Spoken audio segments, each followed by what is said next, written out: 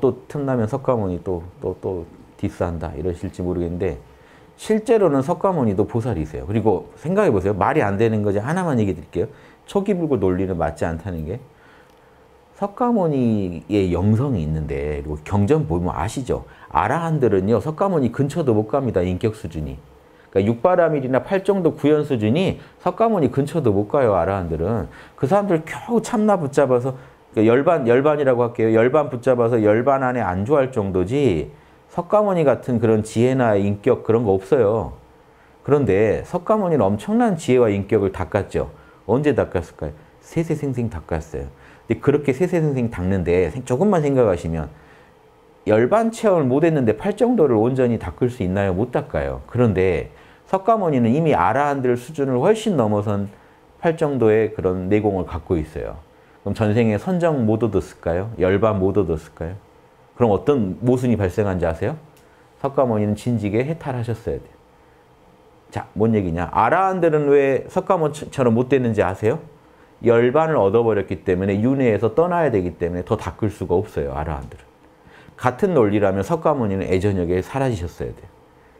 근데 어떻게 석가모니는 계속 윤회에 오면서 돌을 더 닦아왔죠?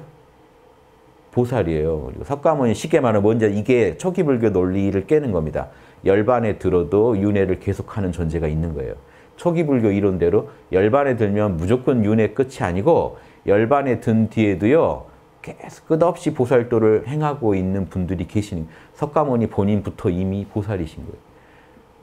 아마 그뭐 뭐 헤아릴 수 없는 시절 전에 이미 견성하신 분이고 아라한 얻으신 분이죠. 그분이 계속 윤회하면서 육바람일 팔정도를 더 닦고 계셨기 때문에 다른 이제 열반 얻은 분들이 따라올 수 없는 엄청난 내공을 갖고 계셨던 이런 얘기하면 이제 또 복잡해지는데 제가 부처님 변호해 드리는 거예요. 부처님은 위대한 보살이고 그 생에 아라한도를 가르쳐 줬을 뿐이에요.